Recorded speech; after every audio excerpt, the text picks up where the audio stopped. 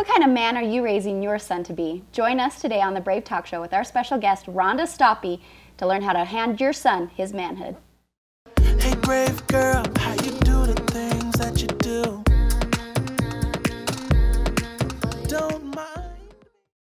Hi, everyone. Welcome to the Brave Talk Show, the show for brave women craving the connection that comes with real conversations about the concerns and TMI details we face every day.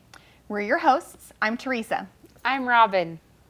I'm Brittany. And I'm Vanessa. Be sure to subscribe to join our weekly conversations. Today, we are talking about raising our sons to be men. But first, we have our Yes. hot topic. Oops, and she Robin, did it again. I'm gonna let you do this. Oops, I did it again. What are we talking about? Free Britney. Free Britney. Free Britney, you guys. I'm in the Free Britney camp. Me too. Free her. Okay. Hit me, baby, one more time. Come on. How, are you guys part of the Free Britney camp? Yeah. Yeah, I was gonna make a poster and then I was up there. Sorry about that. Oh, that would have been hilarious. A poster. Okay. Okay. Very pretty. Okay, so I didn't research it until a couple weeks ago when you guys, when Robin brought it up, and I spent like a whole night just scrolling my Instagram and reading all these news articles, and I was like, Oh my gosh. Okay, right? so before it's like come to the news in the past like couple months, there has been a following of people, myself included, for the too. past years. That she, so she has her Instagram, but I've there's heard a that it's not really her Instagram. Somebody else runs it. Well, there's been some things like not it's not controversy. uh, The thing that you're talking about. earlier. conservatorship. No, no, no, no, no, no. Oh, Conspiracy. Conspiracy, yes. Conspiracy. So she would like say things that like, if I blink twice, my dad, or like if I. She had, there was like these little secret Little codes that like stuff, yeah. little hints like my dad's keeping me hostage with a yellow rose and then the next day her she's like dancing with a yellow rose on It's like her her behaviors were just like, er, like very like. And so before Weird. this has come out, everyone Yeah. was like, she's trapped in her own house because she would say these type of things, like these little clues. And now it's actually come out that truly she is actually being completely controlled. What's her thing they did on Hulu? Like, if you watch it, it's impressive. It's like, what? This poor girl. Her So is it like a documentary? documentary on. It's like free. Is it free Britney Free or just Britney. Britney? Uh, I think it's just Britney. But they And- control everything. Her money, Everything. she can't. She, uh, they took away her dad took away her Put driver's license birth control. They put because an IUD in her. On her, She can't have a baby. I was watching something last night that it was footage of her last music video. It was like ve- a very sexual scene, and there was like all these guys grinding on her, And she didn't and want she was screaming, "I don't want to do this! I don't want to do this!" And they were Like he her do it. literally controlled every aspect of her life, like Mm-hmm. everything. And the thing that's kind of like, what judge? Because the judge keep ordering this, and I say like, what? This is a grown woman. Yes, does she have a mental health? Sure. Like, Yeah, sure. sure. Can we help get her a team that can help her because she has the money? But to take a grown man, her Mm-hmm. dad. That's like a this. It's like a level of abusiveness behind it. It's like this man is like her IUD. Are you kidding me? Like I know. taking away He- her license. her license, because she got uh, in, she got pulled over. She didn't get a ticket. She got pulled over for going 10 miles over, and her dad said, "You don't deserve to drive anymore," and So took away her. license. here's what I've been reading. I've been reading that the judge is being paid. That's one of the conspiracy theories is that the judge is being paid. That's why it keeps they keep reinstating it. Um, another thing that I read that I thought was really interesting was if you look at all of the male actors who have had similar or or worse Yeah. behavior, they just got a slap on the hand And go. and then freedom. Whereas a female who did this, look at what has been taken from her, and it like the male counterpart, if a Yeah. male had done that same thing. Yeah. And I feel like if you go back on her life, we're like, oh, it makes sense. It makes like it makes absolute absolute sense, sense. why she was acting. She was trying to scream for attention because I feel like for a long time, I don't think she could talk about it. But Probably, shaved probably my did an too. NDA and all this stuff like that. Well, you know, back in 2007 Yeah. when she shaved her head, like I think that was just we a all think it's oh, it's the fame and the money. It's her psycho dad, Dad. Yeah. controlling her but life. that was the good news. The judge just allowed her to get her own lawyer. Mm-hmm. So then she's like Yeah. ready, and I think which is a great thing because it's like, how is she not gonna be represented? Like you, her dad is after her, but you're not gonna let her get a legal representation. Yeah. Like let the girl take a neuropsych, uh, a neuropsych, an assessment. Yes, she has a mental, yeah. but the dad gotta go. I remember uh, like years ago, probably like 20 years ago, like watching some article that was like breaking news. We think that Britney Spears' dad is controlling her and ever since she was a mouseketeer, he forced her into this and like pushed this on her. Like that was like literally 20 years Mm. ago. long- like I remember hearing that that like Mm-hmm. her dad was always forcing her into the showbiz to make the money for the family and making her do all these things. and a lot of sexual things. A lot of, the, or there was one man who was really close to her and was like her bodyguard or something like that. Mm. And he said from a young age she would be like, I don't want to go to that shoot. I don't want to do that music video. And they knew that sex sold. Yeah. And so they it. made her do those type of things when they, she was just a teenage girl. And how is this, honestly, if you really think about that, how is this any different than the sex trafficking and slave? Like, there's so much similarities. Mm-hmm. It's really horrible. She's and the fact being that it trafficked in right her own before our family. very in eyes. public. Yeah, and in front of public eye. Nobody, because we thought like, oh, this is Britney. I don't think anybody really put it together. Yeah, like she was until doing a cry for help until And now. I, it's like, I honestly oh. don't think she put it together. Like, Well, I 'cause- think I read that because 'cause she most didn't of the ti- know yeah. that it was even wrong or that she could even fight it. Like until uh, like a year ago, that she started like, wait a second, I can say no to this. Like, yeah. I, I mean, and you you hear that like when people are getting abused Yep. by their own family, they Oh, yeah. they don't even realize it till later because that's just it's, it's she's been in fame since a a toddler. And like this has been her life, and she probably has loved you know being famous and stuff too. So she's probably like, there's a catch this twenty two. If I start fighting against this, Then I might lose Do I lose all this? But I think I think when she was a teen and a kid, we all understood. Oh yeah, her dad has to you know kind of control it, things, yeah. manage it. But now she's a grown adult, grown adult, and she can't make these And decisions. it makes That's you think like abusive. you're surrounding like where are your friends? Where are your family? Where are other people? So that's my question. What about her boyfriend? She has Yeah, a she ha- boyfriend. I'm like, what? Where is he? Why isn't he saying anything? I was reading something that like she can't be with her boyfriend or other friends without someone observing her. what? I didn't Yeah. read that. Like some of her like uh, dancing um, backup dancers say that like literally someone will always be in the room listening and watching. It's so sad. Yeah, So sad. So we all for free Britney, right? Yes. we're all free. I'm all Team Free Britney. Britney. Free Yes. Britney. So Free let us her. know what you guys think. Have you been following it all? Let us know what your thoughts are on that. Um, if you don't know anything about conservatorship, Conservatorship? That's the first time I even knew that this existed. I had no idea that this was even something either. that existed or was possible. So now I'm interested in knowing what other people What other are stuck in celebrities? these. What And other that's yeah, what that it we celebrities is. wouldn't know Yeah, Kanye. West said that it was happening to him that At the- the, Kardashians the Kardashian, were starting that's why. to do that to Do him, that and that's of why he left. stuff. If you become a brand uh, and Because then they like they tried own you. when he was starting to speak up because he was releasing some stuff that he shouldn't have been saying because we all were like, what? Uh-huh. And then the minute that they tried to flew to his um, ranch and he was like, mm-mm, you guys are not coming. They wanted to bring the doctors, the lawyers, and everything. He said what was happening to Britney was going to happen. To happened him. to him because Shut they up. were gonna try to come and shut her down, and he shut him down, and he was like, "Mm-mm, not happening." So Yep. it may be happening. We just more know. than we think. Exactly. Yeah. Okay. Today we have our very first virtual guest, my favorite, Rhonda Stoppe, with more than 30 years experience of helping women build no regrets lives. She's the author of six books, almost all of which I've read personally. I love them so much. And she's appeared on numerous radio programs, including Focus on the Family, Family Life Today, and Dr. James Dobson's Family Talk. And she hosts the No Regrets Hour. Rhonda Stoppe, we are so excited to have you on today. I'm so happy. I wish I was I wish I was physically with you right now to give you each a great big hug, but I'm so glad that I'm able to be with you from my office in California. You're welcome. Wonderful to have you. Now I know you read you've written six books, but we have you on specifically today because all of us ladies here are moms. Um, I believe every one of us have We all have boys. boys. We all Yeah, have boys. all boys. Um, we have some girls too, but we, you know, we're we're raising boys as well. And you have written this book that we we just love so much called "Raising Boys to Be Men." Moms raising boys to be men, and we would just love your insight. But the first thing that I really want to know is why did you write this book? What was the issue that you saw that made you go, "I need to write this book"? Mm, such a good question. So, Moms Raising Sons to Be Men is from my heart. I've raised two sons and two daughters. My oldest son, Tony, did not come to our family till he was 15. Uh, so, I talk about how he became our son in the book also. But here's where the book came from. I speak at homeschool conventions, I speak at women's events, at MOPS, at all kinds of things. And when I spoke at a homeschool convention, on Moms Raising Sons to Be Men. It was standing room only, and women standing around with just tears flowing as I talked about how adolescent sons will push their moms away and my son and I, Brandon, Brandon's a worship pastor. He was in Southern California and uh, he just got a job up closer to home. We're so glad he and his family are going to live near us. But we just did a uh, mother son retreat at Mount Hermon, and Brandon talked to the moms. And one of the things Brandon said when he was talking about adolescence, he said, When I when my mom stopped crying, I knew I had lost control. And I mean, these moms are like leaning in and hanging on his every word. Because you know that mother son relationship, it's mysterious, it's sweet.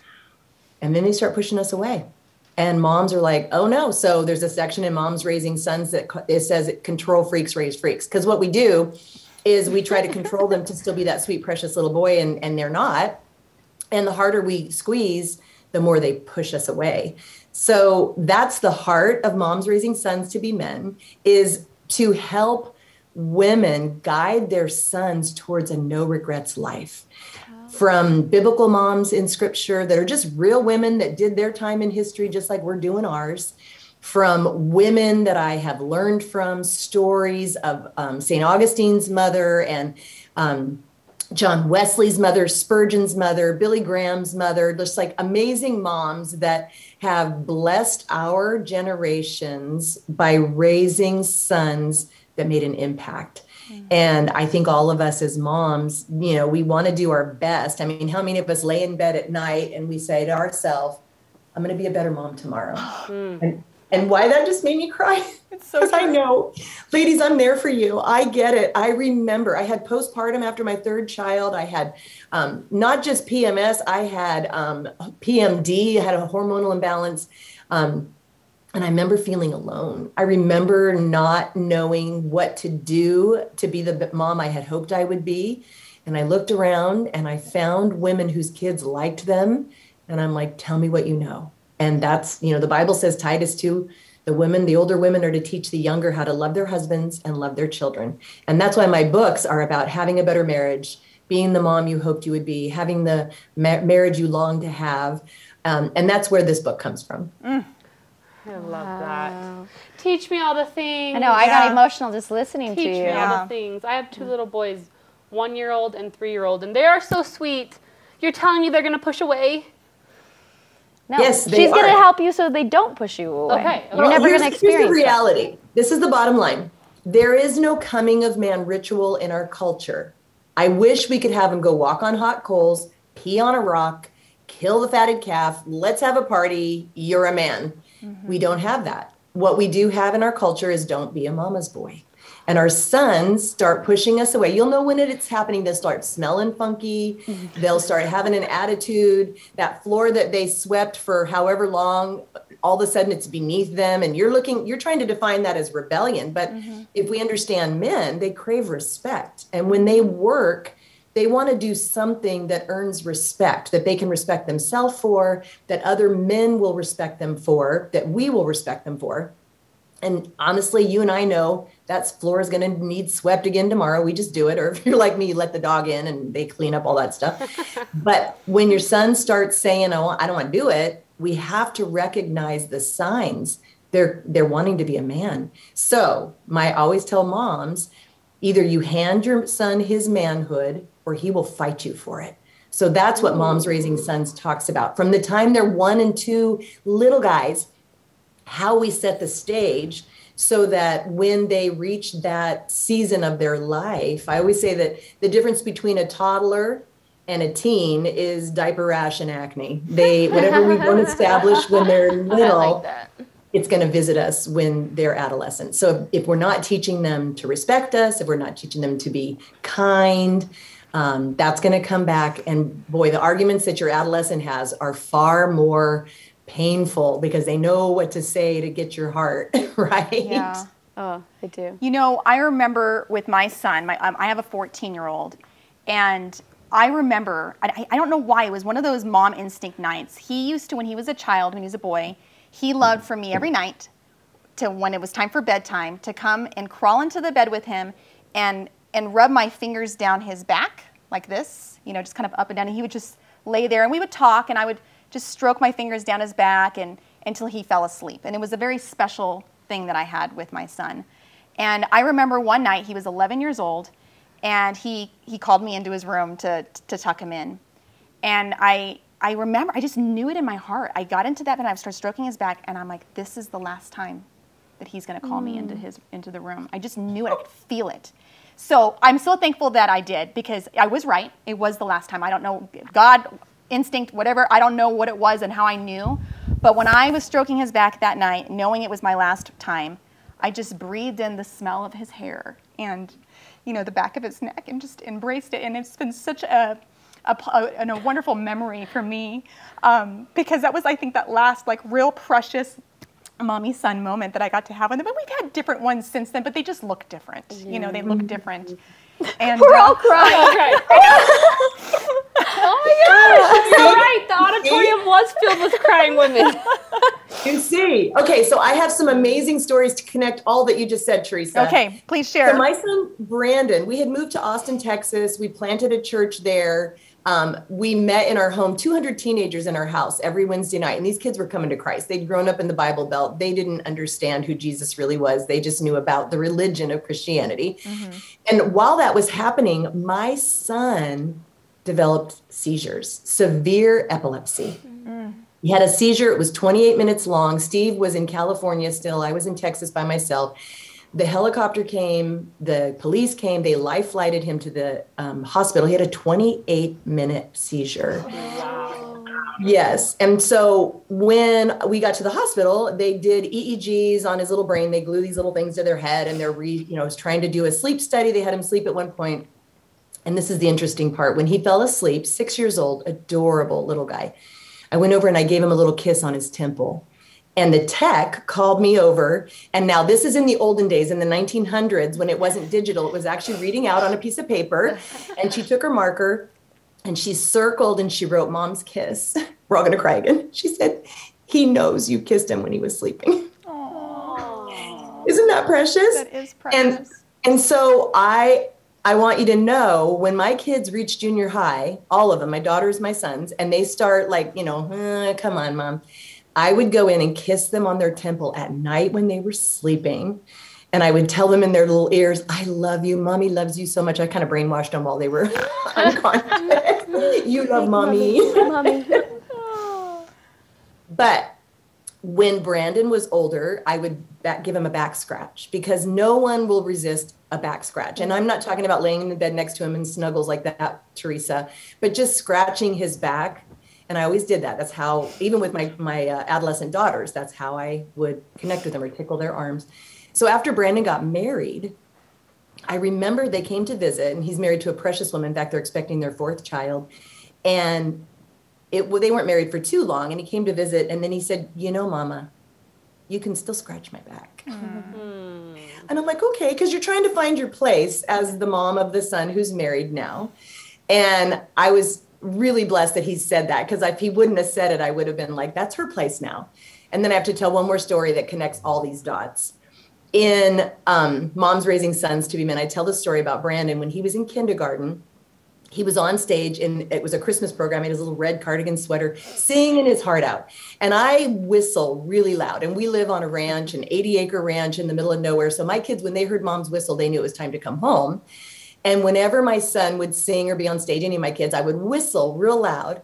And so when he was done with his song, I whistled and he looked and found me and winked at me. And for all of Brandon's life, as he has been on stages, he's played, he's toured with Shane and Shane and Matthew West and Casting Crowns. He's um, just had some uh, awesome opportunities. But whenever I'm at an event or at a church where he's leading worship and there's an applause, I whistle. And he always looks until he finds his mama and he'll wink at me. Isn't that sweet? So That's sweet. there's a, a woman in Nashville. Brandon and Jesse were living in Nashville, and they were um, he was playing in a church. And a woman uh, texted me that she had been reading my book, and she was sitting behind Jesse, his Brandon's wife, and she could see the back of Jesse's head, and she could see Brandon on stage. She took a picture and she sent it to me. Which, as your kids get older, older, the glimpses of them are so sweet when they don't live near you. And all she texted me was, "He winks at her now." Oh. Yeah, right. But that's what we want. We want to launch them into men that transfer their affections from us. Yeah. You're raising them for a woman that you want them to love more than they love you. Mm-hmm. You want them to transfer their conversations that they had with you to that woman. Mm-hmm. You want to train their brain. You want to teach them how to communicate, how to talk about those things that they're processing, but knowing full well you're doing this for her. Mm. You guys got me crying so much today.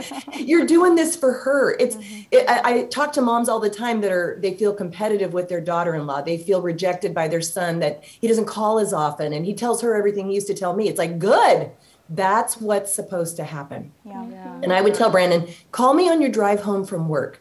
Don't call me when you're at home and you need to be with your family. Call me when you're on your way home and you have a few minutes to chat. Right. But don't, I don't want to steal you away from those kids clamoring and she's been taking care of them all day long. So yeah, that I, I just, moms raising sons to be men. It takes courage. It's not for the faint of heart. And to hand them over to someone else takes bravery, but it's the right thing to do. Mm-hmm. Yeah. Think of how powerful that is. Like, as a mom, I've never had that thought before, but I think that's so profound of raising them so that they transfer that to their spouse. Like, if you think about us, like, if our mother in law had done that for our Uh-huh. husbands, which maybe they have, Or maybe Right? Or maybe not. well, yeah, I'm like realizing But- like, oh, that explains a lot. You know, like you know, so Yeah. it is it's that's powerful. I think why we're all so emotional, especially when you told your story, Teresa, is like we we all have sons and we're all very like we want the best for them. Like our love is so deep for them that like that moment that you were talking about, like you never want that to leave. And the mm-hmm. thought like the fact is is that is gonna happen. Like there is gonna be a last time where you mm-hmm. snuggle in bed with them. Mm-hmm. And that's like, oh, so how do we how do we raise them so that we always have that relationship with them? Right. That you can't snuggle in bed with them. Obviously, right. But but you still have that another relationship where they way, call you on their way home from work, Right. like Rhonda was just saying, and you still have that relationship that's open with them. And honestly, ladies, it's our calling that if you have been called to motherhood, there is a ministry of motherhood to which the Lord has called us. And we cannot do it without his wisdom. If he called you to deepest, darkest Africa to go and live in a hut and share the gospel and preach and do all those things that a missionary would do with the zeal and passion, you would wash your mind with the water of the word. You would seek first his kingdom and his righteousness. You would search your heart and ask him to show you your own sins so that you can pray powerfully for these people you're going to minister to. You'd go all What in. do we do? What do we do when we find out we're pregnant? I want some cute maternity clothes. And I'm going to look on Pinterest for some cute ideas for the nursery. And we want to be the best mom that we can be. But we forget this is a ministry to which God has called us. And it's humbling and it takes God's courage. It takes his strength and wisdom, and it is a daily battle mm. to stay in a place usable by the master for this amazing calling to be an architect of the next generation. Because that's every woman who has poured into her child. These, you know, these men in scripture, these men in history, their first teachers were not seminary professors, it was their mama. Mm-hmm. And that is an amazing, noble calling. And you need to surround yourself with other women that understand that we are called to this. It is a ministry, and we need to be warriors on a mountaintop like Moses interceding for Joshua, who was fighting a battle. When Moses got weary and his arms came down, his buddies lifted his arms up to help him keep interceding so that the battle would be won in the valley. When my kids started to act rebellious, when my kids started to spend time with a boy or a girl that I felt was not a good, you know, boyfriend to girlfriend material, my small circle of woman friends interceded with me on behalf of my child. Uh, the effectual, fervent prayer of a righteous mama accomplishes much. And you surround yourself with some mama warriors like that, and there's no stopping what God's going to do in and through your life and through the life of your kids. I have a question. I guess my question is where is the boundary where that connection with your son and you have that strong connection where to the point that it does affect the relationship, the marriage, the woman that he's dating. And because of the strong relationship with the mom that they've had growing up, there's a point where they have to do cut that relationship. So where do you how does that boundary work? Mm-hmm. That's an interesting question. As a mother of a son, we get to learn from women who've walked ahead of us, women who have lived it. That's why I wrote this book because um, a lot of women don't have an example to even really follow. My mom was a teen mom, and I was her second child, uh, and she did the best she could. And she, my mom and I grew up together. I actually led my mom to the Lord six months before she passed away. It was pretty cool. But yeah, I didn't have the like, oh, I'm going to do it like my mom did it example. And let's be honest, there's so much dysfunction in our homes and in our upbringings. Uh, we end up focusing more on what we don't want to become than what we want to become that develops resentment, that develops bitterness, that develops, uh, you know, the Bible says the man thinks in his heart, so is he. When I'm thinking about what I don't want to be like my mom, guess what I'm thinking on? Her character qualities, and I will become that exact thing I don't want to become. So Philippians says, think on what is good, right, honorable, praiseworthy. I want to surround myself with women that have walked the path ahead of me, that are willing to say, hey, this is the regret I have. I, I held on too tight to my son and he pushed me away. Or this is what I learned when I handed my man, my son over to his manhood, or when I uh, pulled myself out. So the transfer, there's a couple of, of stories. Um, first of all, David's mom in the Bible. Why don't we know her name? I think the woman should have a shout out. There is no name of David's mama in the Bible, but we'll find that out one day. But come on. Yeah, so here's point. David and he's getting ready to fight Goliath. Remember, he was probably 17 years old. And honestly, when God gets a hold of a teenager's heart, he turns the world upside down. Mm-hmm. And he went, and his brothers were hiding, and he told Saul, I'll fight him, I'll fight him right now. And Saul gives him his armor, and he takes it off. And here's the key to what he says to Saul God gave me victory over a lion and over a bear. I know he will give me victory over this giant. Time out. He was 17. That means as a young teenager, God sent a lion and a bear into his life while he was protecting his father's sheep. Where was his mama? I would have been like, babe, a lion attacked our son today. He don't work for you no more. He's staying home. You're staying home today. Yeah, for the rest of your life. He wasn't. She wasn't a helicopter mom. And then he was sent to the battlefield by his dad to bring lunch and provisions to his brothers when we protect our sons so well from the big bad wolf, what we not might not realize is that God is sending the big bad wolf to pre- uh, prepare them to fight that giant. Mm-hmm. With my son Brandon's story, I got to tell you, he had severe seizure activity. He was highly medicated. He was stoned. He was on special ed at school, which those words pierced my heart when the uh, school administrator used them he didn't want to play sports. I was coaching high school cheerleading at the time, which is a cult in and of itself. It's an awesome plot thing, but it's definitely it's definitely yeah. intense. Robin. But I expected my little boy to be an athlete, to hit one out of the park, to run one down the field, to hear the crowd glory in my son's accomplishments. That was what I thought my son was going to be, and he didn't want to do any of that. He played Legos. He picked up a guitar, and he started every band member that came to our house would give him pointers on playing their instruments. He could play them all but I remember going in my room one night after Brandon had a severe seizure because we missed one dose of his medicine he took three times a day. And I wept at the foot of, the, of my bed and I told God, I'm done. I quit. I'm out of here. Kids are coming to Jesus. We're serving you. You can't heal my boy. I'm done. But here's the secret Psalm 119 says, God's word I've hid in my heart that I might not sin against him. His word dwells in us richly. That's what speaks to us when we're ready to walk. And I heard in a still small voice, not audible, but it shouted to my heart, In everything give thanks, for this is the will of God in Christ Jesus concerning you. And I said, Nope. I can't even imagine how you can make good come of this, but I know you're good and I know your character, and I will say thank you with my lips if you change my heart. And slowly, we started watching Brandon become this amazing musician. My husband, who is also a worship pastor, and he said, uh, I've never met anyone who thinks in music theory like Brandon does. And slowly, what we realized was God used Brandon's epilepsy to form him to be a musician. And anybody who knows stoners make good musicians, right?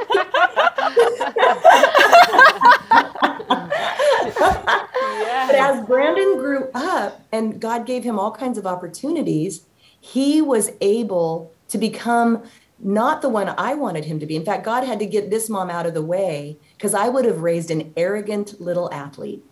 But God said, You want to raise him so you can hear the crowd glory in your son's accomplishments.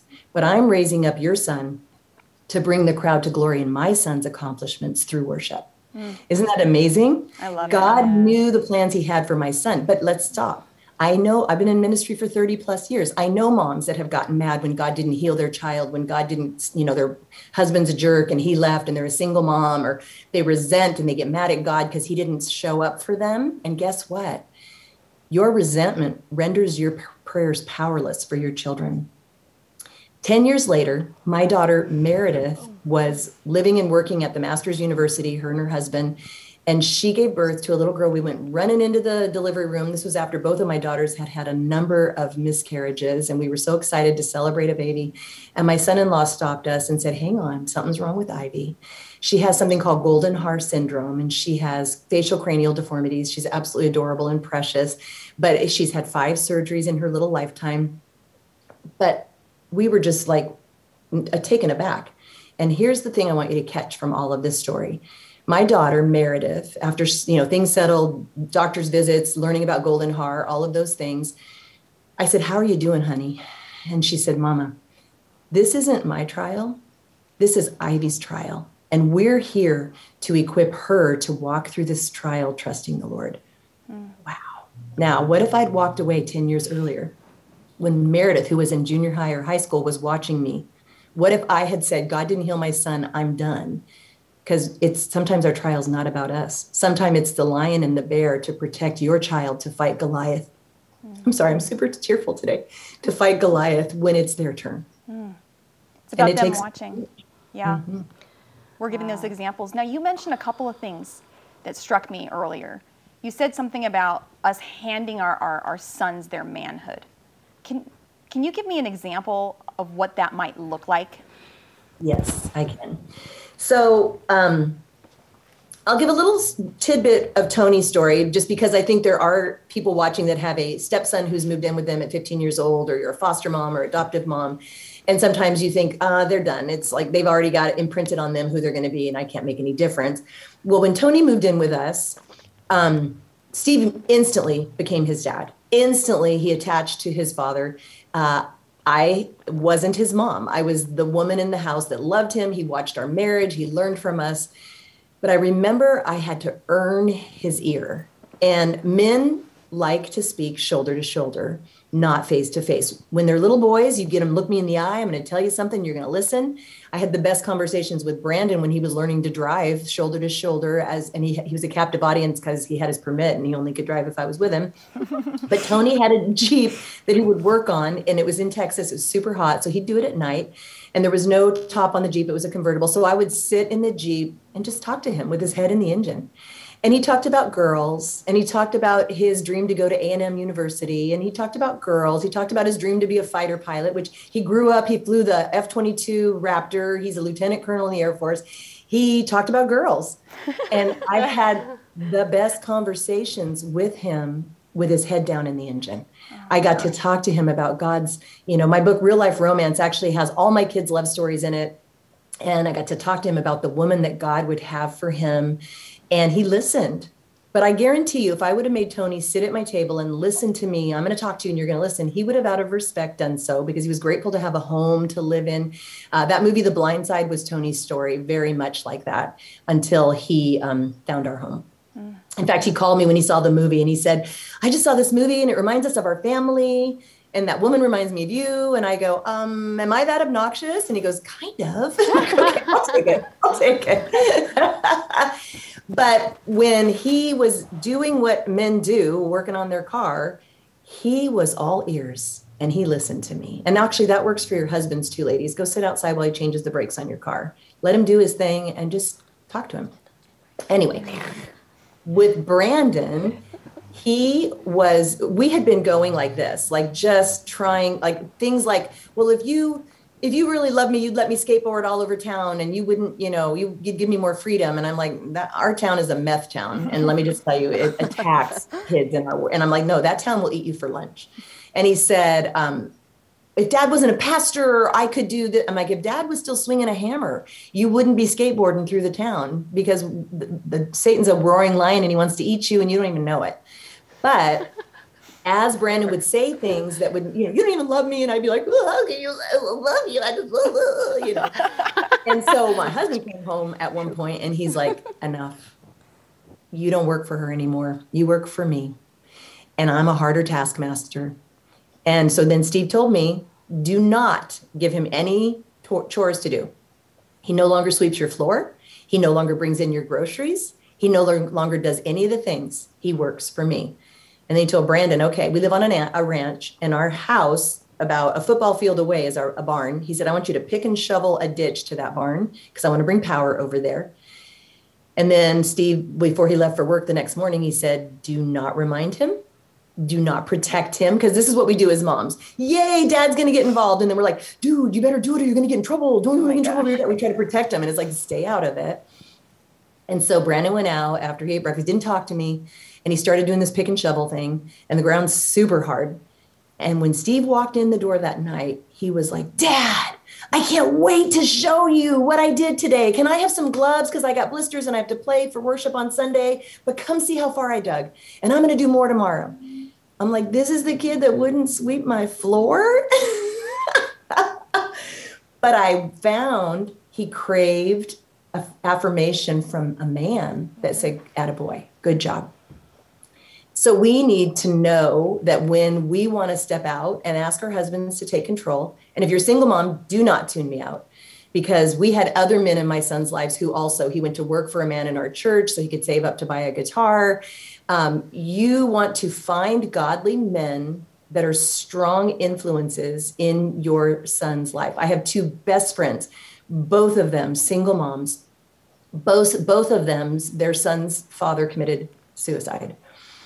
And I'm telling you that they did the right thing. They pressed in, they went on vacation with us, they spent time with us, they exposed their children to godly marriages, and they gave them heroes. Our sons are looking for heroes, and it's not you, mama.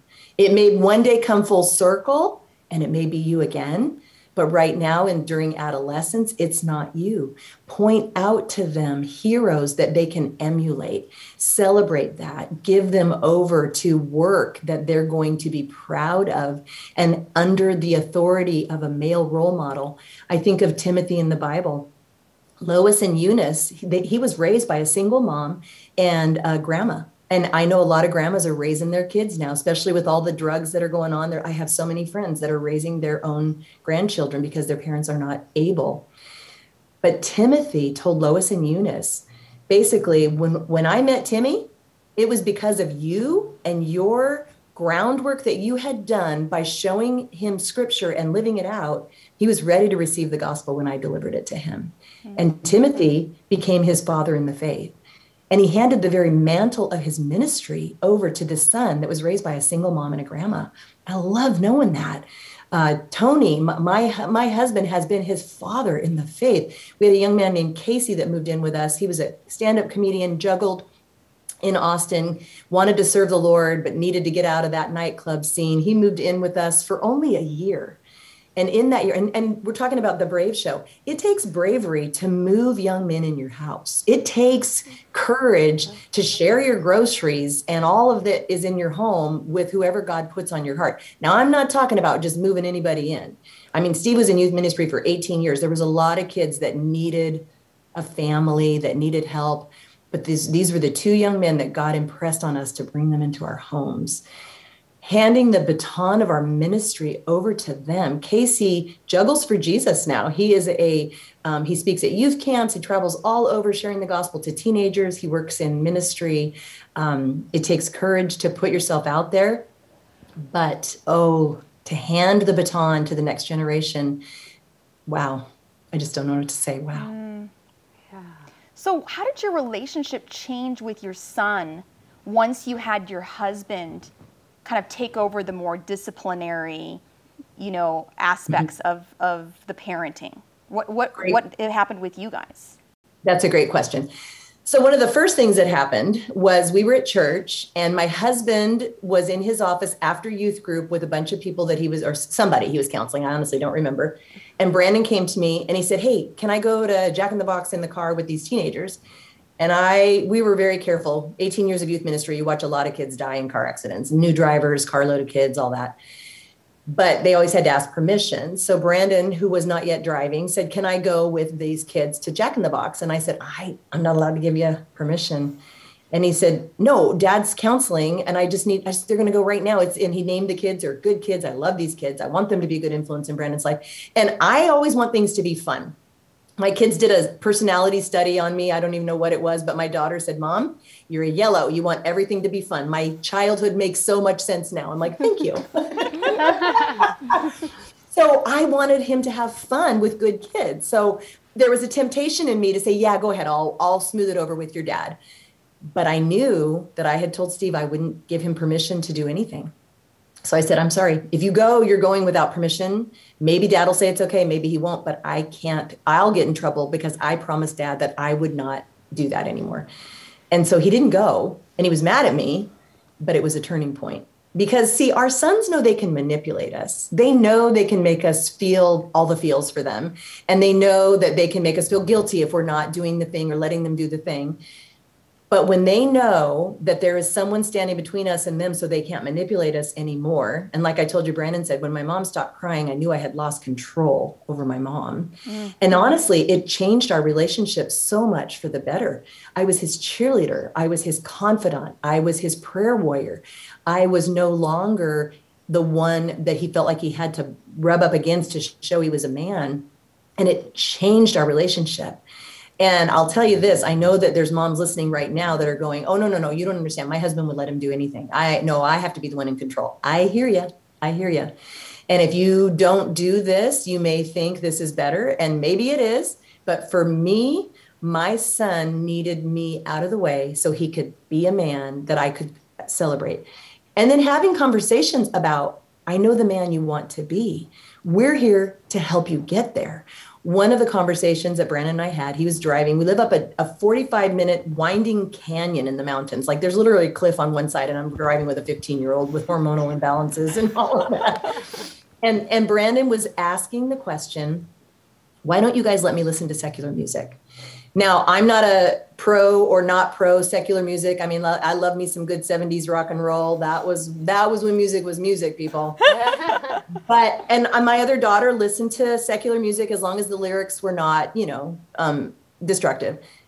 But for Brandon, music touched him so deeply. And I remember we were driving and he wasn't, we weren't arguing and, and we were just discussing. And I said, dude, here's the thing. And his nickname is Dude. Uh, I said, here's the thing when you were little, your seizures are what God used to turn you into this amazing musician for Christ. And the Bible says, as a man thinks in his heart, so is he. If you feast on secular music and the words of the world that are set to music, that's what's going to come out of you. And you have shared with us, and we believe that God wants to raise you up to be a worship pastor. And we're here to help you get there. And we're here to help you set a guard over your heart until you're old enough, wise enough, mature enough to do it yourself. And he got real quiet. And later, as an adult, he said, I hated that conversation, but I loved that conversation mm-hmm. because you made me think. And there's a section in Moms Raising Sons called Train His Brain. It's easy to just say no because I said so, because we're Christians and we don't do that. And what will people think? In which that's a whole other section called People Pleasing Isn't Pleasing. But instead, we have to say, I have a vision of this amazing man that you want to be and that I think God wants you to be. I am here to help you get there. And I don't want you on my couch when you're 40 years old playing video games. I want to launch you at 18 years old into your dream. I want to be here, but Satan is a roaring lion. He wants to eat you for lunch. And until you see the battle for what it is, Dad and I are here to help you set a guard over your heart. And if you're single mom, that same conversation, I'm here to help you set a guard over your heart. And I'm praying for you to have God's wisdom and discernment. I don't want Satan to steal, kill, and destroy the dreams I know that God has for you, mm-hmm. but I'm here to help you get there. Wow. I guess I have a question because that was absolutely beautiful. But I think the single mom keep coming to my mind as you speak of about single moms.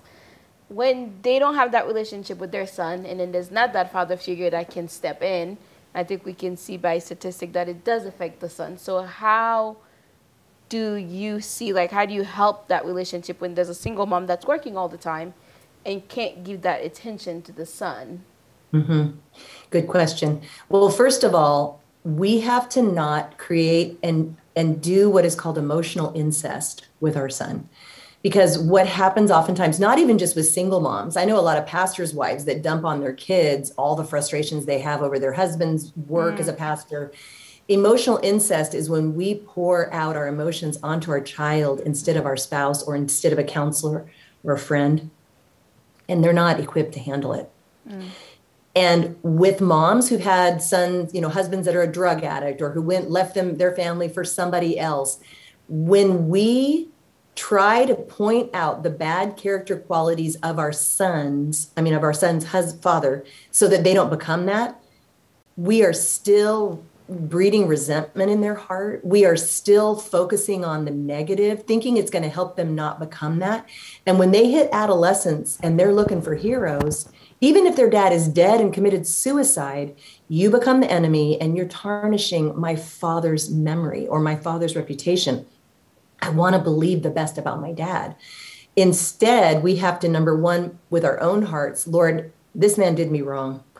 This man is the worst father on the planet but I want to forgive him because I don't want him to have power over me or over my son. And I know that my sin of unforgiveness ties me to this person because love and hatred is very similar emotion in that it ties us to a person. And then if we can just say, Lord, either judge that man or save that man, I don't care. It's not my business. He's in your hands. We can walk away and be free. And our sons can do the same if they see it lived out in us. Jesus said the student becomes like his teacher, not like the teacher teaches and preaches, like his example. So, for a single mom, I have to tell you, you have to be part of a good, godly Christian community. My husband was a youth pastor for 18 years. He was the father in the faith to so many of the young men that came to our youth group. And those single moms, those aunts that were raising a son because their mom was a drug addict, grandmother, they would go to my husband. They would go to the youth workers that that their son connected with or their daughter connected with and they would say you know he's really disrespecting me or he's really struggling with this or and my husband would step in and be like hey buddy that's your mom and you're not going to treat your mom that way and i'm here to step in for your mom and you're going to show her respect. We find other godly people that will step up and be the male role model and even our protector from our son treating us in a way that's not appropriate. Does that make sense? Does that help? Yeah it does. You know, a couple of things that you said earlier struck me too, um, that I think is a just a shift in how we think and when we talk to our sons. One was when you were correcting your son about, or not correcting, but teaching about the music thing. What you did, what I noticed that you did was instead of giving the reason why you did things to keep him a child or to protect him as a child, you shifted the language to instead build up who he's going to be instead. Mm-hmm. So I'm doing this not to keep you here, but to take you there. Absolutely. And then the other thing I noticed that you, you mentioned was when um, talking about with them about certain character traits that you want them to have or not, instead of focusing the language on this is who I don't want you to be, mm-hmm. instead shifting the language to this is who you want to who you want to be. And so yeah. I'm helping you get to there. So I, I it's like a totally different way of thinking about how to even correct. I don't know if the word is correct, but like mm-hmm. disciple or build up. Guide. Or, Guide. Guide. There you go. I well, like that word. That reminds well, me of a quote from your book. I loved it. It says, Remember that some of the best teachable moments come in times of disobedience. Absolutely. Right.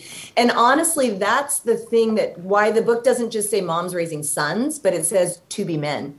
Uh, tell yourself every day, I'm raising a man giving them the glimpse of the man that you hope they'll become, the man you want to instill. When Brandon was five and he was being harsh with his little sister Kayla, I'm like, dude, I can't let you talk to Kayla like that, or you're going to grow up and be harsh to your wife. Yeah. When you grab Kayla's arm because you're frustrated with her, you're going to do that to your children one day because it's who you are, who you will be. And it's going to be familiar to Kayla and she's going to gravitate toward a man who's harsh or who will grab her arm. And then his little chest popped out to protect Kayla. Like, whoa, that ain't happening. Um, the, the, the most important aspect of this whole book is not forgetting we're raising a man and helping them recall my goal is not to keep you my little boy the rest of my life that's not good for you it's not good for me my goal is to help you be the man god wants you to be because i know that in that you will be so fulfilled and joyful and have no regrets. Uh, let's talk about talking to our son about sex. Can we do that? Yeah. so when brandon was in fifth grade I remember that he stayed home from school one day. Sat up. And he asked me, Are we running out of time? Do I have time to oh, tell no. this? No, please. No, no, we're excited. Okay. We all sat up. That's what Vanessa's like. Everybody like perked up. I know, What a I hard- know. It's a good topic. We're like, we all have to teach Right. that in the next five years. Yeah. COVID cough. Oh. Anyway, so Brandon stayed home from school one day and he it was just he and I, and he said, Hey, mom, you know, they're going to have that talk at school about sex, and I want you to tell me about it. And I'm like, Oh, you know what? Dad's going to talk to you about that. I talk to the girls about it. Dad talks to the boys about it. Dad's going to talk to you about that. And Brandon kept pressing me. And he said, I want to know. And here's the thing it, we're talking about the Brave talk show. It takes courage to talk to your kids about sex and not just to say, uh, just don't do it until you get married. Like, and that's honestly, I'm going to pu- plug this book too. Real life romance is all about redemption for people that had sex before marriage and what it cost them, but how God redeemed their romance. And then it also celebrates those that walked in obedience to the Lord um, and, and walked in purity until they got married. And can I say this? Nah, maybe or not say it. I'm revealing too much about my kids. anyway, so uh, Brandon said, I just want to know. And I said, okay. So I went into a junior high school teacher biological definition of what sex and intercourse is. And always, mom, when you're telling it, tell use the words when a husband and wife have sex. Don't say man and woman. Husband and wife. You're imprinting on them. God's plan for sex inside of marriage is for a husband and wife to enjoy the marriage bed. So that's a, a little buzzword that is makes sense in their head that that's how God ordained it. So a husband and wife, when they come together, and I explained all the ins and out, ins and outs. No. Literally. and when I was done, I was real proud of myself. And Brandon, I'm like, do you understand? And he's like, I do. Can I ask you another question? And I said, sure. He said, why did so and so get pregnant then when she wasn't married? It was someone in our youth group. If she wasn't married and it was just to make babies, why wouldn't she wait till she was married to make a baby? And I'm like, dang it, we're to have to talk about so then I went into talking about the pleasure of intercourse and how, you know, God makes man's body to enjoy it this way and he makes woman's body to enjoy it that way. And I'm going to also plug my book, A Christian Woman's Guide to Great Sex and Marriage. Short, sweet, tells you how to have great sex. Anyway, Oh yeah. so so Brandon, I explained, you know, all of that. And I said, but let me tell you something, dude. Here's the thing. Women want to be in love with a man that they give their body to. And women think if I give my body to him, that is a sign that I want to be his forever. Hmm. And so they're thinking he'll love me forever if I give him my body. Men want to conquer women. And for the most part, they will pursue her until she puts out and then they move on. And a godly man might pursue her, but if he's a believer and she's a believer, all of a sudden she's the object of his sin. And the person that he adored, much like Absalom in the Bible when he, he resented Tamar after he raped her, the person he adored now represents his weakness, his sin. And he may keep going back and having sex with her. He may even marry her to make it right because he feels so guilty, but it's not God's plan for marriage. So we talked about the all of that. And I remember explaining to Brandon how it's a covenant. And this is an interesting thing, and a lot of people don't understand this. The sign of a covenant, if you go back and you study in the Old Testament, the signs of the covenant, when God had a covenant with Abraham, he said, separate this flesh, walk between the pieces. I'm going to walk between the pieces, cutting of the cutting of the flesh. Walking between the pieces represents my covenant with you, the lifelong covenant when Jesus said uh, for the communion, you know, the breaking of the bread, the I'm and the this is my body. Do this in remembrance of me. The flesh, the passing through this flesh, the blood that covers us is what makes us in a covenant with Christ.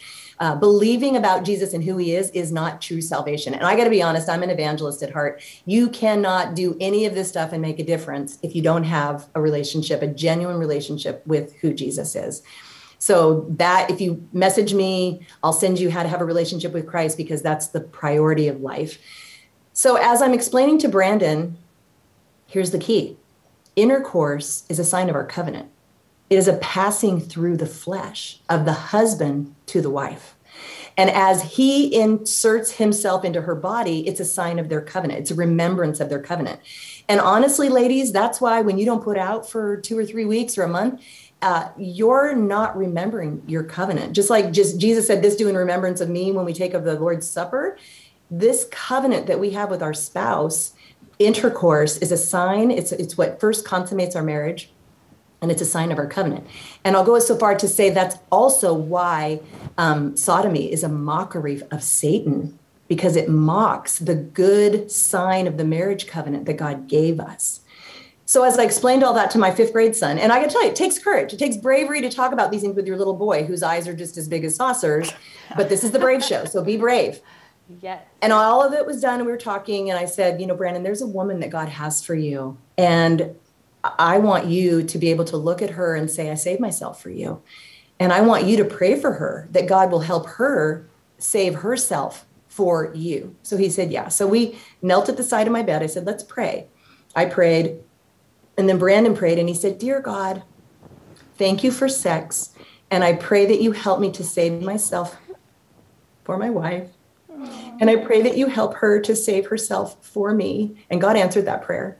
And then Brandon said this 10 year old fifth grade Brandon said, And God, please help my sisters not to be tricked by any men and help them to save themselves for their husbands. Amen. He got it. Isn't that the sweetest? Now, my husband could have had the sex talk with him, and he did. When Steve got home, I'm like, babe, I had to talk with dude. It's your turn. and I tapped out, and to this day, I don't know what they talked about but handing them their manhood. What kind of a man do you want to be? Do you want to be a man that manipulates women to get them to put out?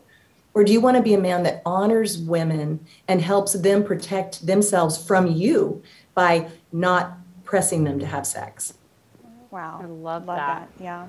You know, my son, um, the oldest one that I was just talking to about earlier, um, he, he is, I, I, had him out of wedlock. Um, so uh, it's that whole story is really interesting. But we've had to have this, you know, sex conversation as well. Um, and you know, he knows firsthand why I tell him like I want you to to save yourself because he's he's seen the damage of what what happens when you don't. Like that relationship didn't didn't come together. We didn't get married, and now he has to bounce back and forth between these two families. And if it were if it was if we had approached it the right way you know, the chances of that having happened would have would have not. And so, and, but I also tell him how even this because I don't want him to feel like um, I came out of this thing that was yeah. that was wrong, and, and then him carry that mm-hmm. shame, right? So I mm-hmm. also shared with him the beautiful thing that happened with that. Like I was, and I I've, I haven't given you guys a whole lot of details, but like I lived pretty wildly ladies, uh, from 16 to 26. I've done some things. I've done some things. Um, and I, um, I, when I got pregnant, I had a, I had a long-term boyfriend, you know, um, and so that kind of calmed me down. But there was still a lot of things that I was doing. You know, we were kind of drinking a lot, a lot of parties and stuff like that.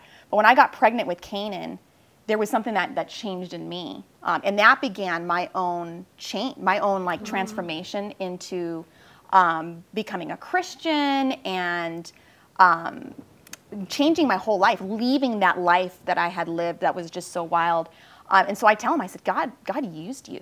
God mm-hmm. used you to to change my life for the good, you know. Mm-hmm. Um, and so I I see a little bit of like a, okay, you know in his eyes when he hears that. And I, I hope that in a sense for him that even though there is this this brokenness that came from that, that he sees that beauty and that hopefully that redeems it in some way. You know, absolutely. I, you know what? I celebrate my mom's courage. My mom was a teen mom. Like she had to drop out of the drill team in high school to have me. And I feel very um, connected with teen moms, with young moms that uh, get pregnant and have their babies. I, my heart, I wrote an article for Focus on the Family. It's called uh, Confessions of a Teen Abortion Accomplice. Accomplice. I was the accomplice abortion is something that some women are watching even right now and going, oh, you know, if God only knew, or if you only knew. And what I love is when God redeems, he redeems to the utmost. I love David and Bathsheba's story. David had an affair with Bathsheba. She got pregnant. He sent Uriah to die in battle to cover his sin. He took her into his home, married her. They covered their sin for a year. He pretended to be a godly king. And then when he finally repented, David, Nathan came and said, You're the man. And he wept. But he said, That's when he finally repented. That then he said, And now I can teach sinners your way. Now I can worship you.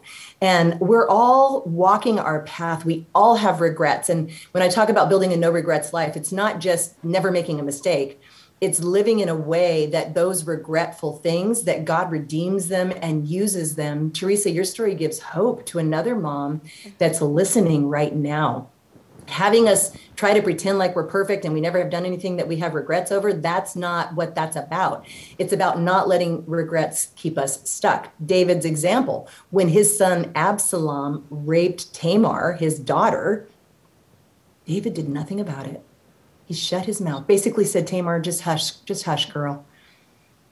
David had his own skeletons in his closet of his own immorality. And because of that, he didn't think, oh, and I don't know, this is my own creative license. He didn't have the authority as a dad to say, don't, don't do that, because he had oh, done that. Right. Mm. That we cannot let our kids suffer. I hear parents say, well, they're not doing as bad as I did at that age guiding and guarding our kids so that they can live the life without regrets that serves and follows Christ is not based on my own regretful past. I have wisdom and discernment that I will gladly share.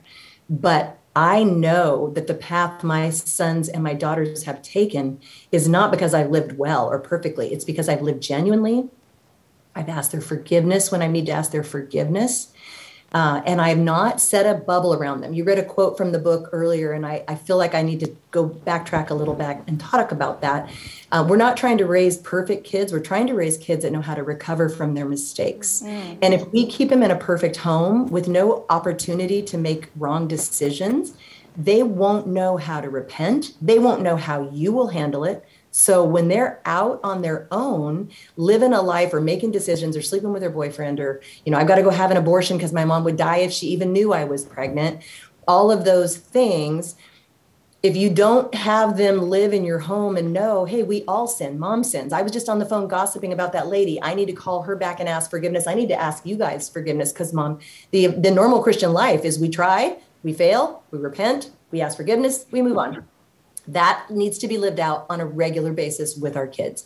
And when my son-in-law was a RD at a master's university in Southern California, he said the kids that were in their little homeschool bubbles, and I'm not bashing homeschooling. I came back to California in 2000 and homeschooled my youngest two because the schools there where we live were so bad. I wept because I didn't want to homeschool. I wanted to go coffee with my friends. I didn't want to stay home. But uh, these kids that were in their bubble would come to a Christian university with full scholarships because they were so smart and could pass those SATs with their eyes closed. They would cut class and they would play vi- their roommates' video games all night long. They would look at porn on the internet, and we should probably talk about that if we have time. And they would they didn't know how to set a guard. They didn't know how to discipline themselves or self uh, motivate themselves because they'd always had a mom keeping them in a bubble. And so there's a, again, it calls for wisdom to know what to let them be exposed to and what to not. The, and the Bible talks about if anyone lacks wisdom, let him ask of God. Funny story. I remember when Brandon was coming, he came home from college and we were watching TV and a Victoria's Secret commercial came on and he started laughing. I go, what? And he goes, when I see those commercials, I hear your voice in my head. Brandon, those women carry diseases. Whoops, sorry. and I'm not saying a Victoria's Secret model carries diseases. I'm just saying. That's just what he hears in his head. Mom, my boys have been taught just look away, just turn, Yeah, he turn your head. yeah. that's what they. Oh, that's what my boys do.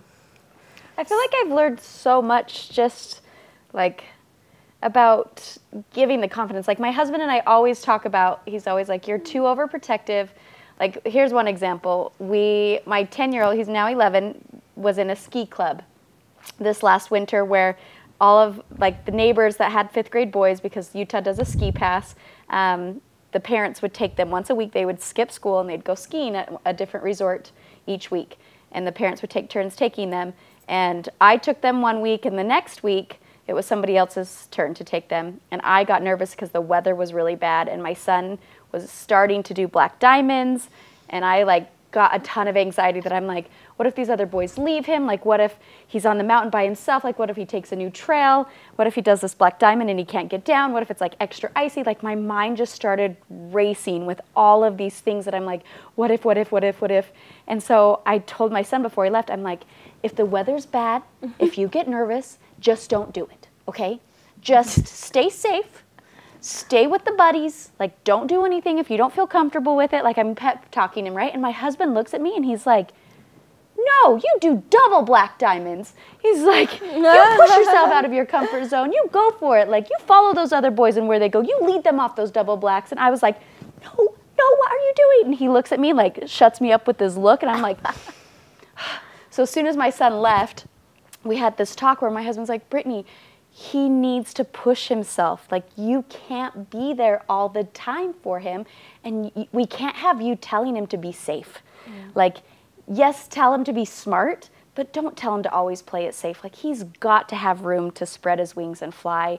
And I was like, I guess that's why he needs a dad. Like, Yeah, yeah. because I, I, our advice was opposite. Mm-hmm. And Kyle went and he had the best time and he did Black Diamonds and he had fun with his friends.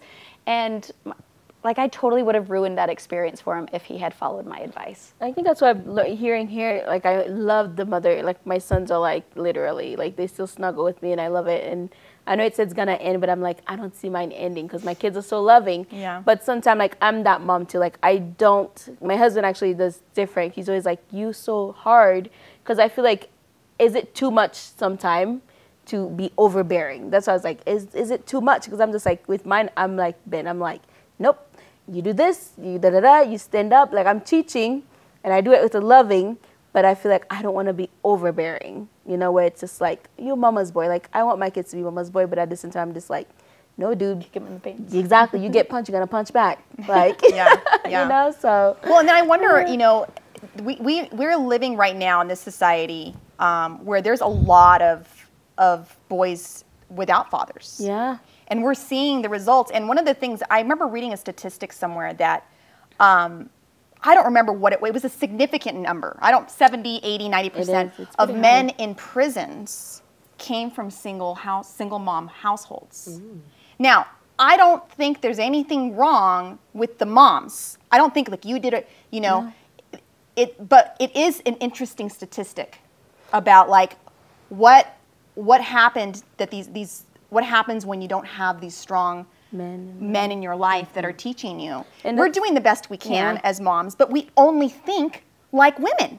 Yeah, and that's And we don't know how to bring think up in the other ways. That's the black community. Majority of home or single mom home, and that mom is also working three or four jobs to provide for that son. So they don't have the support of a, you know, that good man in the home, and plus now they don't have mom accessible to them, and then the cycle that we see in our community is they probably will end up in jail also because they don't have that strong root in the home. Mm. So that I know the black community that's something that happens way often than most. Yeah. So My friend Pam Farrel, she's the author of Men Are Like Waffles, Women Are Like Spaghetti, her and her husband. We're having She her did- on in August. Yep, Oh, she's good. coming on in And she August. just Released a single mom's book. I was going to say you got to talk to her and Peggy Sue Wells. It's, I think it's called "The Best Decision a Single Mom Can Make" or something. But that would be a great resource. Wow. Well, thank you, Well, Rhonda, so thank much for coming on. We love to My have you. absolute we're- pleasure. We'd love to have you come back um, because you've written so many books, and we know that you have wisdom also in marriage and so forth. And we'd love to have you come back and share with us, share with us more of your wisdom on that side of the family too. Um, we know, and we talked about this before, that um, earlier before this episode, that you know we we know that the family is that microcosm uh, that is just foundational for our kids to learn everything. And I think that they're looking at our marriages too. Um, and our marriages are an example to them for how they're going to do their marriages and so forth. So, love to have you back to just give us some ways to help us out in our marriages so that we can be better examples to our sons and our daughters and so forth. Um, so, if you're open to that, let's have you back on. Absolutely. So, yeah, thank you so much. I would love yeah. to. All right. That would be great. Uh, you guys are awesome. I love your show. I love what you're doing. I love that it's brave. I love that it's courageous. I love that you're talking about things a lot of people don't want to talk about. I mean, we could do a whole episode on hormonal imbalances and postpartum. That was a dark season in my life. And I think a lot of people don't know what really is involved with that. So uh, yeah, anything anything you girls need, I'm here for you. Awesome. So, how can our audience follow you?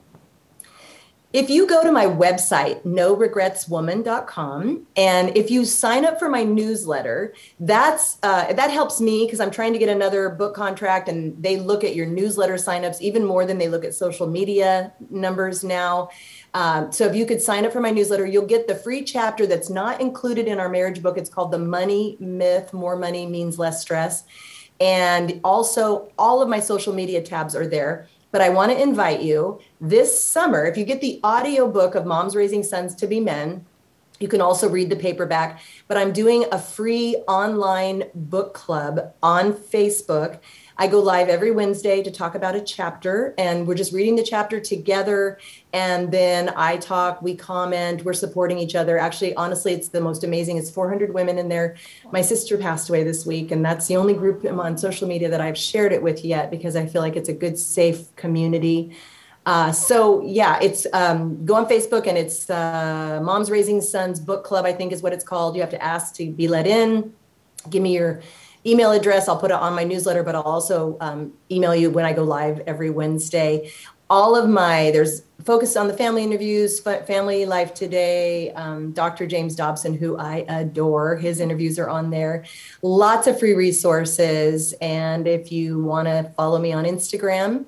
Rhonda Stoppe, R H O N D A, because my mom was a teenage Beach Boys fan. Rhonda Stoppe, S T O P P E, and I will. I hang out on Instagram a lot. All All right. right. Thank Well, we're you. Instagrammers over here too. They're teaching me. They were in. Yeah. I, I had to transfer over, but I'm loving it, and I'm actually on it now more than I am on Facebook. So, Thank you for joining our Brave Conversations. if you enjoyed this episode, be sure to subscribe to our channel and hit that bell notification so that you don't miss our next episode. We're going to have a lot of other amazing guests. Are you ready for more? Click on the next video for more brave conversations. Have some brave topics you'd like us to discuss? Leave your suggestions below. We'd love to hear from you. See, See you next, next week. week. Hey, brave girl, how you do the things that you do?